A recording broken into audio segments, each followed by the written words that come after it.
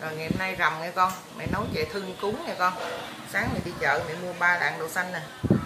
Đậu xanh vàng, con nhớ là đậu xanh vàng nó bỏ vỏ rồi nha. Rồi ờ, này là đậu phộng nghe con. Này là củ tai nè. Mẹ nấu với đường khoèn với một củ khoai lang.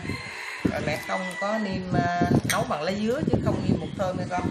Đây là dừa. Bây giờ để sắc củ khoai lang rồi qua nấu con nha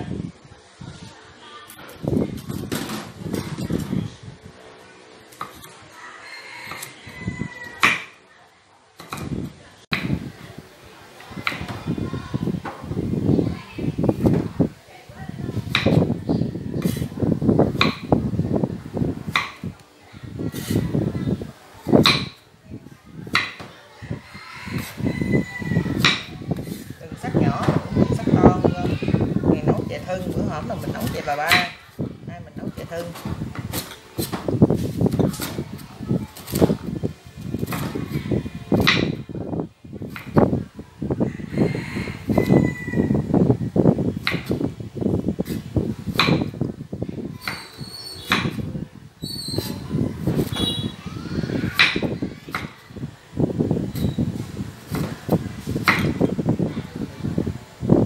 xanh đó đậu phộng thì sáng mẹ đã nấu với diêm rồi, cho nó mềm rồi.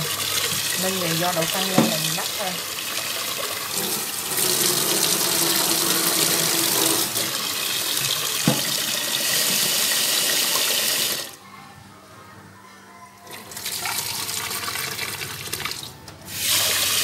Bỏ thêm một miếng nước này cái nước gạo, nước cốt dừa ít lắm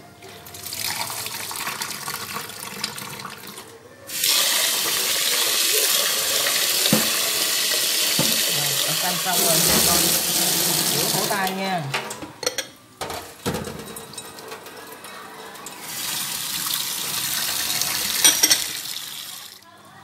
Con phải do củ tay cho nó ờ, ra bớt bụi rồi đi, ra bớt đầu ngâm hay không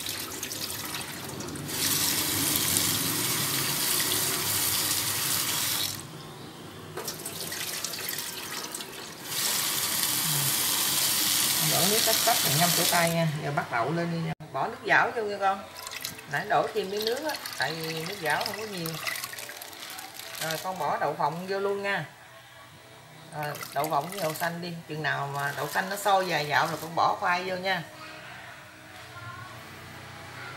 Rồi, con đậu sôi rồi đó hả con? Rồi con vớt bọt đi.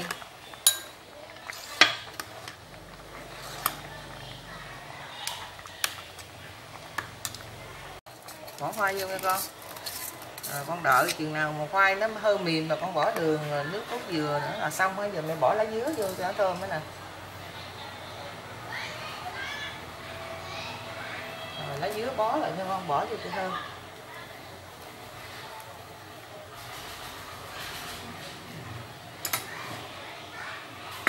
Đó bỏ đường vô đi nha con. Bây giờ là không có vớt bọt nữa nha. À, ba lạng đường á đường phèn nha con, nấu đường phèn nó mới ngon. Rồi, con bỏ chút xíu muối vô.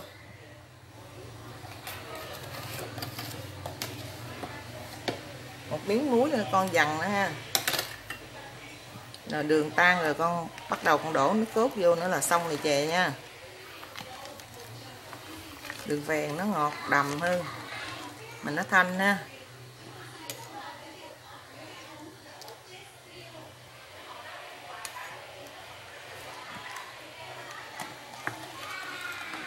Rồi, con đổ nước cốt vô nha, đường phèn tan rồi đó.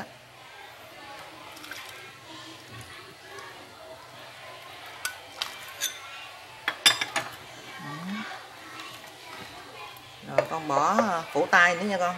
Quên củ tay.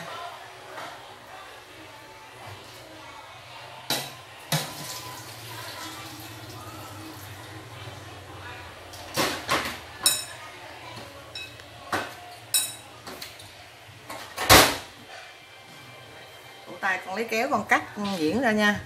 Cắt làm hai, làm ba, con bỏ nó để nó dài lắm. Rồi, sôi là xong rồi chè. Chè thưng rồi nè, nồi chè thưng mình xong rồi nè con. Quá ngon ha. Giờ tắt bếp đi con. Đặng đem qua đặng đút cúng rồi con.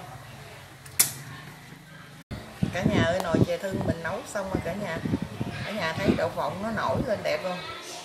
Đó, đậu xanh, đậu phộng, khoai lang. Với nước cốt dừa nấu bằng đường phèn cả nhà bây giờ mình múc ra mình cúng. Nay là sáng rằm á cả nhà ơi.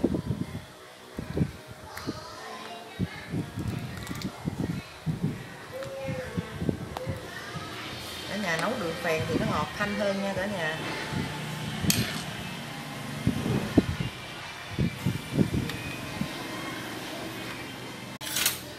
Cả nhà ơi, chè mình đã múc ra rồi để cúng ông bà cả nhà ơi. Chè cũng ngon lắm cả nhà mong cả nhà yêu thích video của mình nha. À, mình sẽ làm à, thực hiện nhiều video khác cho cả nhà cùng xem. Có gì chia sẻ giúp mình về nhớ đăng ký cho mình nha. Chào cả nhà.